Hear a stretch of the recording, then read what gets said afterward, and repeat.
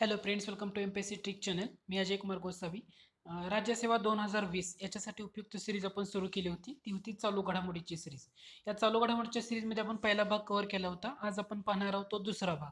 हा दुसरा भाग आता महत्त्वाचा काय असणार आहे? तर हा व्यक्तिविशेष या टॉपिकवर हा राहणार आहे. याच्यामध्ये दहा ते बारा लोक व्यक्तिविशेषचे महत्त्वाचे मुद्दे या लेसनमध्ये आपण कव्हर करणार आहोत. म्हणजे चालू घडामोडीची ही सायमल्टेनियसली सिरीज आपण दररोज सुरू ठेवणार आहोत. दुसरी महत्त्वाची गोष्ट म्हणजे तुम्ही माझ्या चॅनलला सबस्क्राईब केलं असेल तर नक्की सबस्क्राईब करा. आणि सबस्क्राईब केल्यानंतर समोर जे बेल ऐकन असतं त्यावर क्लिक करा. म्हणजे जेव्हा काही नवीन अपडेट माझ्याकडून येईल त्याचं नोटिफिकेशन तुम्हाला भेटत राहील. तर आज आपण वेळ न दोडता काय करूया आपल्या लेसनला सुरुवात करूया. आज आपला पहिला पॉईंट आहे आपल्या आजच्या टॉपिकचा तो म्हणजे आरबीआयचे माजी डेप्युटी गव्हर्नर जे होते सुबीर गोकर्ण यांचं निधन झाले आहे निधन कधी झालं ते तीस जुलै दोन हजार एकोणीस रोजी निधन झालं. सुधीर गोकर्ण हे होते. त्यांना कॅन्सर झालेला होता. आता सुधीर गोकर्ण यांच्याबद्दलच्या काही महत्त्वाचे मुद्दे ते तुम्हाला माहीत असणं गरजेचं आहे. त्याच्यामध्ये सगळ्यात पहिलं महत्त्वाचं लक्षात ठेवा. ते म्हणजे आरबीआयचे माजी डेप्युटी गव्हर्नर होते. तर त्यांचा कार्यकाल होता तो म्हणजे चोवीस नोव्हेंबर दोन हजार नऊ ते एकतीस डिसेंबर दोन हजार अकरा. त्यांचा कार्यकाळ काय आहे? चोवीस नोव्हेंबर दोन हजार नऊ ते एकतीस डिसेंबर दोन हजार बारा. हा हा त्यांचा कार्यकाळ आहे. हे जरूर लक्षात ठेवा. त्याच्यानंतर दोन हजार पंधरापासून त्यांचं I M F international monetary fund यावर त्यांची ना कार्यकारी संचालक म्हणून भारताचं ते प्रतिनिधित्व करत होते. मग त्याचबरोबर भारताबरोबर इतर चार देशांचं प्रतिनिधित्व त्यांच्याकडे होतं. ते म्हणजे भूतान बांगलादेश आणि श्रीलंका. हे इतर तीन देश आणि भारत एक. तर हे दोन हजार पंधरा पासून आय एम एफ वर कार्यकारी संचालक म्हणून ते होते. दोन हजार नऊ पूर्वी त्यांनी काय काय गोष्टी केलेल्या आहेत? तर त्यांनी क्रिसिल जे पतमानांकन किंवा पतमापन संस्था त्याचं त्या अर्थाने म्हणून त्यांनी का काम केलेलं आहे. स्टँडर्ड्स अँड पुअर्स किंवा इंदिरा गांधी विकास संशोधन संस्था यासारख्या संस्थेमध्ये त्यांनी व्याख्याता म्हणून सुद्धा काम केलेलं आहे. हे सुद्धा इतर गोष्टीमध्ये माहीत असू द्या.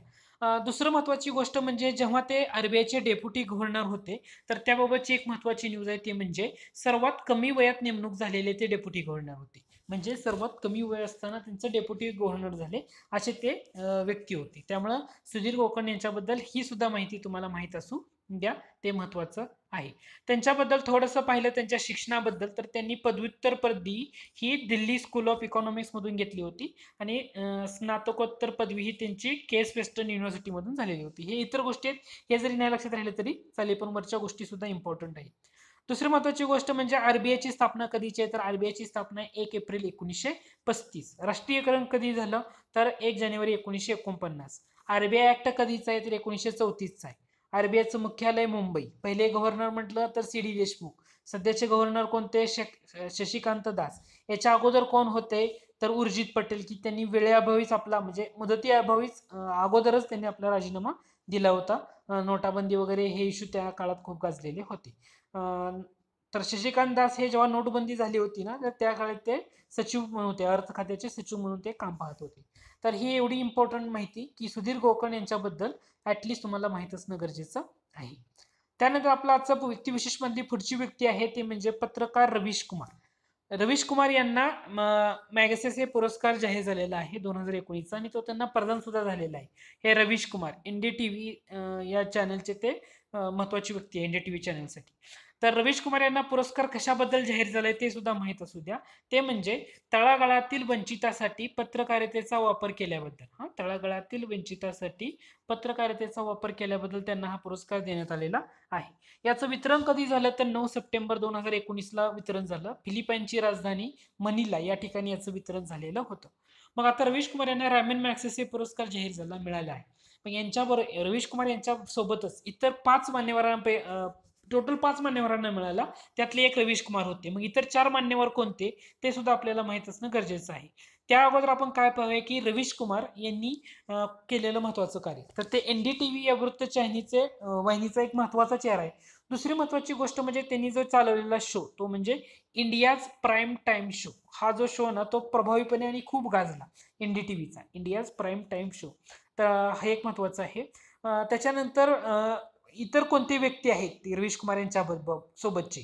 ज्यांना रॅवन मॅक्सेसे पुरस्कार मिळाला. त्याच्यामध्ये म्यानमारमधले पत्रकार को स्वी विन नाव लक्षात घ्या. को स्वी विन हे म्यानमारमधले पत्रकार. त्याच्यानंतर थाई थाई हक्कांसाठी काम करणारे आगा खान न- निला पैजीत त्याच्यानंतर दक्षिण कोरियामधले समाजसुधारक किम जॉंग की किम जॉंग की दक्षिण कोरियामधले समाजसुधारक. फिलिपनमधले संगीतकार रेमिंडो पुंजोतो केब्या. हे नावच खूप इंटरेस्टिंग आहे. ते तुम्हाला लक्षात ठेवायला लागेल किंवा एक दोनदा रिकॉल करावे लागतील. रवीश कुमार भारतीय पत्रकार को स्वीविन म्यानमारमधले पत्रकार आगा खान निलापैजित थाई हक्कासाठी काम करणारे व्यक्ती. त्याच्यानंतर दक्षिण कोरियातले समाजसेवक किम जॉंग की आणि फिलिपिन्समधले संगीतकार रेमिंडो पुंजातो केब्या. हे नाव आहेत. एवढे नाव इंटरेस्टिंग आहेत पण तुम्हाला लक्षात ठेवणं गरजेचं आहे. रेमेन माक्सेसे पुरस्कार कधी सुरुवात झाली? तर एकोणीसशे सत्तावन्न साली. रेमेन माक्सेसे या पुरस्काराची काय झाली होती? सुरुवात झालेली होती. म्हणजे लोकशाहीमध्ये जनहितात आणि निक्ष निरपेक्ष काम करणारे जे व्यक्ती असतील किंवा संस्था असतील अशांना हा पुरस्कार दिला जातो. त्यामुळे रवीश कुमार म्हटल्यानंतर तुम्हाला एवढी गोष्टी माहीत असणं गरजेची आहे. त्याच्यानंतर पुढचा पॉईंट येतो तो म्हणजे महाराष्ट्राचे राज्यपाल नवीन राज्यपाल नवीन नियुक्ती आणि व्यक्तिविशेषमध्ये खूप महत्त्वाचं आहे. ते म्हणजे भगतसिंग कोश्यारी.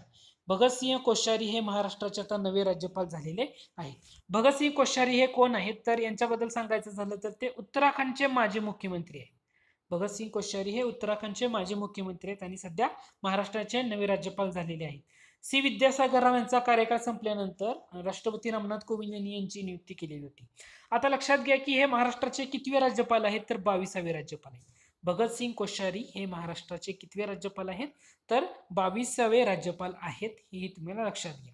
दुसरी महत्वाची गोष्ट म्हणजे सी विद्यासागर राव याच्या अगोदरचे महाराष्ट्राचे राज्यपाल होते. तर त्यांची मुदत कधी संपली? तर तीस ऑगस्ट दोन हजार एकोणीस.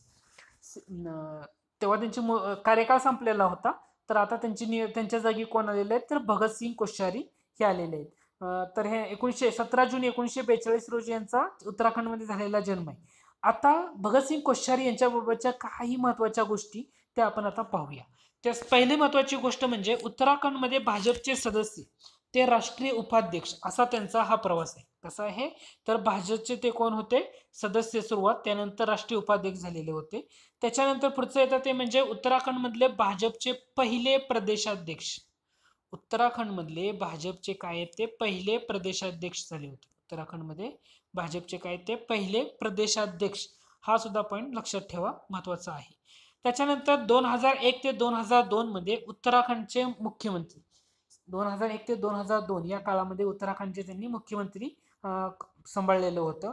त्याच्यानंतर दोन हजार दोन ते दोन हजार सात या कालखंडामध्ये त्यांनी उत्तराखंड विधानसभेचे काय केलं होतं तर विरोधी पक्षनेते म्हणून जबाबदारी स्वीकारलेली होती. आणि दोन हजार आठ ते चौदा या काळामध्ये ते राज्यसभेचे सदस्य म्हणून उत्तराखंडमधून निवडून गेलेले होते. तर हा त्यांचा कार्यकाळ. कार्यकाळ दोन तीन गोष्टी लक्षात ठेवा. दोन हजार एक ते दोन मुख्यमंत्री दोन हजार दोन ते सात विरोधी पक्षनेते आणि आठ ते चौदा राज्यसभेचे सदस्य.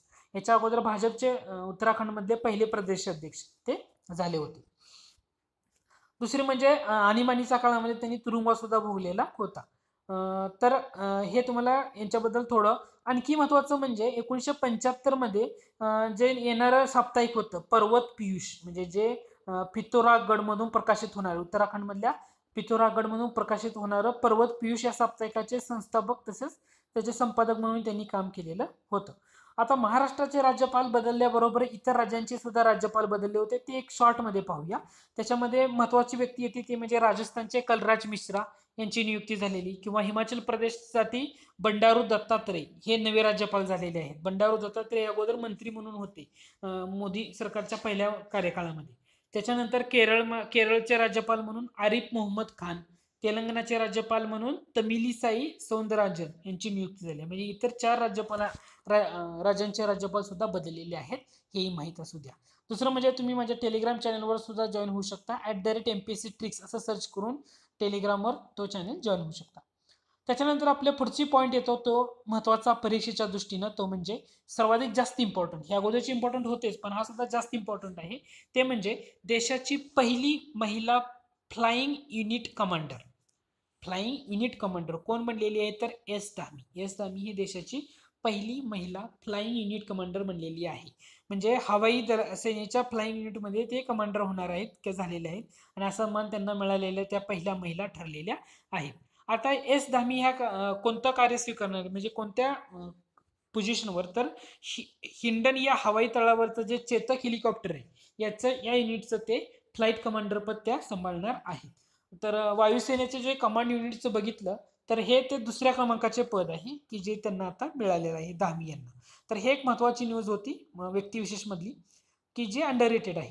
त्याच्यानंतर अंडर रेटेड न्यूजपैकी सगळ्यात महत्त्वाचे आणि परीक्षेला जास्त करून विचारण्याचे चान्सेस जास्त असणारे ते म्हणजे देशाची पहिली महिला डीजीपी देशाची पहिली महिला डीजीपी यांचं सध्या निधन झालं आणि त्या चर्चेत राहिल्या होत्या. कोण? देशाची पहिली महिला डीजीपी आता प्रश्न असा आहे तर त्यांचं नाव आहे कांचन चौधरी. कांचन चौधरी या देशाच्या पहिल्या महिला डीजीपी आता देशाच्या पहिल्या महिला आय पी एस अधिकारी म्हटलं तर आपण काय म्हणतो? किरण बेदी. दुसऱ्या महिला आय पी एस अधिकारी कोणत्या? तर त्या कांचन चौधरी आहेत. आणि देशाच्या त्या पहिल्या महिला डीजीपी झाल्या होत्या. तर डीजीपी कधी झाल्या होत्या? तर दोन हजार चार साली उत्तराखंडमध्ये त्या डीजीपी बनलेल्या होत्या. तर त्यांचं निधन झाल्यामुळे त्या चर्चेत होत्या. एकोणीसशे सत्त्याण्णवमध्ये त्यांना राष्ट्रपती मेडल मिळालं होतं. हं? महिला पी जे होते एकोणीसशे सत्त्याण्णवमध्ये त्यांना राष्ट्रपती मेडल मिळालं होतं. डीजीपी म्हणजे पहिल्या पोलीस महासंचालक झालेल्या होत्या. भारताच्या त्या दुसऱ्या महिला आय पी एस आहेत. दुसऱ्या महिला आय पी एस ज्या पोलीस संचालक झालेल्या. आणि जन्म त्यांचा हिमाचल प्रदेशमध्ये आहे. त्याच्यानंतर व्यक्तिविशेषमध्ये पुढची व्यक्ती येते ती म्हणजे P V Sindhu. P A Sindhu यांनी बी डब्ल्यू एफ म्हणजे बी डब्ल्यू एफ जे बॅडमिंट जागतिक बॅडमिंटन अजिंक्यपद स्पर्धा आहे ना तर त्याच्यामध्ये पी व्ही सिंधूने यावर्षी वर्षी पहिला क्रमांक प पहिलं पदक पटकावले म्हणजे सुवर्ण पदक मिळवले विजेतेपद मिळवले असं आपण म्हणू शकतो. उपविजेतेपद मिळाले जपानच्या नोझोमी ओकुहाराला. आणि पहिली अशी भारतीय महिला ठरली की जिने विजेतेपद पटकावलं पी व्ही सिंधू. ही स्पर्धा कुठं झाली होती? तर स्वित्झर्लंडमधल्या बासेल या ठिकाणी ही स्पर्धा झाली होती. आणि विशेष म्हणजे नोझोमी ओकोहाराला पी व्ही सिंधूंनी सरळ सेटमध्ये पराभूत केले. एकवीस सात एकवीस सात अशा सरळ सेटमध्ये. जागतिक बॅडमिंटन अजिंक्यपद स्पर्धेची सुरुवात कधी झाली होती तर एकोणीसशे सत्याहत्तर साली झाली होती आणि ती पहिली भारतीय महिला खेळाडू ठरलेली आहे. यापूर्वी जर तुम्ही पी व्ही सिंधूचं यश बघितलं जागतिक अजिंक्यपद स्पर्धेतलं तर दोन हजार तेराला कांस्य पदक आहे चौदाला सुद्धा कांस्य पदक आहे. सतरा अठराला दोन वर्षी सलग रौप्य पदक मिळवलं पण सुवर्ण पदक मिळवता आलेलं नव्हतं. दोन हजार एकोणीसला मात्र पी व्ही सिंधूंना सुवर्ण पदक मिळवलेलं आहे. दुसरं म्हणजे आतापर्यंत जागतिक बॅडमिंटन अजिंक्यपद स्पर्धेत भारतात भारतास किती पदकं मिळालीत? तर एकूण दहा पदकं मिळालीत. त्या दहापैकी पाच पदकं एकट्या पी व्ही सिंधूची आहेत. तर हे एक महत्त्वाचं आहे. आणि चोवीसाव्या वर्षी पी व्ही जागतिक अजिंक्य स्पर्धेची मानकरी ठरली. त्याच्यानंतर व्यक्तिविशेषमध्ये पुढची व्यक्ती येते ते म्हणजे पंतप्रधान नरेंद्र मोदी. नरेंद्र मोदी यांना बहारीन देशाचा सर्वोच्च नागरी सन्मान मिळाला आहे तो म्हणजे the king Hamad order of the renaissance हा पुरस्कार आहे. म्हणजे आणि भारत देशाचा दौरा करणारे सुद्धा नरेंद्र मोदी पहिले भारतीय ठरलेले होते. यापूर्वी त्यांना रशियाचा पण सर्वोच्च नागरी पुरस्कार मिळाला होता. तो होता order of the Saint Andrew the apostle. हा रशियाचा मिळाला होता. याच्या अगोदर मिळाला होता तो संयुक्त अरब अमिरीतचा जाहेद मेडल. ते सुद्धा त्यांना मिळालेलं होतं. म्हणजे दोन हजार एकोणीस या वर्षामध्ये नरेंद्र मोदींना जे ही लिस्ट वाढत चालली परंतु तीन महत्त्वाचे पण इथं कव्हर करतोय. ते म्हणजे बहारीन देशाचा कारण तिथं पहिल्यांदा मोदी गेले होते बहारीन देशामध्ये. The king Hamad order of the renaissance हा सर्वोच्च सन्मान मोदींना जाहीर झाला. रशियाचा order of Saint Andrew the apostle आणि संयुक्त अरब अमिरेतचा जाहीद मिळेल हे तिन्ही पुरस्कार त्यांना मिळाले त्यामुळे हे चर्चेत होते. त्यामुळे हा पण पॉईंट कव्हर केलेला आहे. त्याच्यानंतर आपला पुढचा पॉईंट आहे ते म्हणजे केंद्रीय मन- अर्थमंत्री अरुण जेटली यांचं झालेलं निधन. जन्म एकोणीसशे बावन्नचा होता मृत्यू हा दोन हजार एकोणीसचा. दिल्लीच्या एम्स रुग्णालयामध्ये त्यांनी आपलं निधन झालं त्यांचं. स्व ते सहासष्टाव्या वर्षाचे होते. आता अरुण जेटली यांच्याबाबत पाहायचं झालं तर त्यांचा कार्यकाळ. कार्यकाळ म्हणून त्यांनी केलेलं पहिलं म्हणजे सगळ्यात महत्त्वाचं येतं ते म्हणजे केंद्रीय अर्थमंत्री म्हणून. कधी ते कधी होते तर सव्वीस मे दोन हजार चौदा ते चौदा मे दोन हजार अठरा. या काळामध्ये ते भारताचे केंद्रीय अर्थमंत्री म्हणून त्यांनी काम पाहिलेलं होतं. त्याच्यानंतर तेरा मार्च दोन हजार सतरा ते तीन सप्टेंबर दोन हजार सतरा भारताचे संरक्षण मंत्री. तेरा मार्च दोन हजार सतरा ते तीन सप्टेंबर दोन हजार सतरा संरक्षण मंत्री होते. त्याचबरोबर नऊ नोव्हेंबर दोन हजार चौदा ते पाच जुलै दोन हजार सोळा मा माहिती प्रसारण खात्याचे काम सुद्धा त्यांनी पाहिलेलं होतं. ते जास्त करून राज्यसभेमध्येच त्यांचं निवडून यायचे ते. राज्यसभेचे विरोधी पक्षनेते म्हणून सुद्धा त्यांनी काम पाहिलं होतं. तीन जून दोन हजार नऊ ते सव्वीस मे दोन हजार चौदा. म्हणजे मोदी गव्हर्नमेंट निवडून याच्या अगोदरचा जो कार्यकाळ होता युपीए दोनचा कार्यकाळ. या युपीए दोनच्या कार्यकाळामध्ये राज्यसभेचे विरोधी पक्षनेते म्हणून अरुण जेटली होते. जेटलीच्या काळातले महत्त्वाचे मुद्दे जर बघितले तर नोटाबंदी पहिला दुसरं म्हणजे जीएसटीची अंमलबजावणी ही जेटलींच्या काळातच झालेली आहे. त्यानंतर रेल्वेचा जो स्वतंत्र अर्थसंकल्प रद्द केला गेला आणि तो सर्वसाधारण अर्थसंकल्पाबरोबर समाविष्ट केला गेला. यात सुद्धा अरुण जेटलींच्या कार्यकाळात झालेला आहे आणि अर्थसंकल्प एक फेब्रुवारी रोजी सादर करण्याचा निर्णय सुद्धा त्यांच्या कार्यकाळातलाच आहे. त्यामुळे अरुण जेटली यांच्याबाबतचं महत्वाचं काय आहे? तर संरक्षण मंत्री कधी अर्थमंत्री कधी किंवा प्रसारण माहिती प्रसारण खातं सुद्धा सांभाळले परीक्षेला विचारताना कसं विचारतील की त्यांनी कोणत्या खात्याचा कारभार पाहिलेला आहे? मोदी कार्यकाळात. तर ते अर्थमंत्री पण होते संरक्षण मंत्री पण होते आणि माहिती प्रसारण खात्याची काही काळ त्यांनी तिथलं काम पाहिलेलं होतं. आणि विरोधी पक्षनेते कधी होते ते सुद्धा महत्वाचं आहे. त्याच्यानंतर पुढचा पॉईंट येतो व्यक्तिविशेषमधला ते म्हणजे इस्रोचे जे अध्यक्ष आहेत के सिवन यांना तमिळनाडूकडून दे सरकारकडून देण्यात येणारा जो कमाल पुरस्कार आहे ए पी जे अब्दुल कलाम यांच्या स्मरणात देण्यात येणारा कलाम पुरस्कार यांना सन्मानित करण्यात आलेलं आहे. तर के सिवन म्हणजे काय? केचा केचा फुलफॉर्म येतो. कैलाश वडियू सिवन असं त्यांचं नाव आहे. कैलाश वडियू सिवन. तर तमिळनाडू सरकारने ए पी जे अब्दुल कलाम पुरस्कार देऊन त्यांचा सन्मान केलेला आहे. कशासाठी सन्मा सन्मान केलेला आहे? तर त्यांनी विज्ञान व तंत्रज्ञान क्षेत्रात केलेलं भरीव योगदान याच्यासाठी त्यांचा सन्मान केला आहे. का लक्षात ठेवायचं आहे?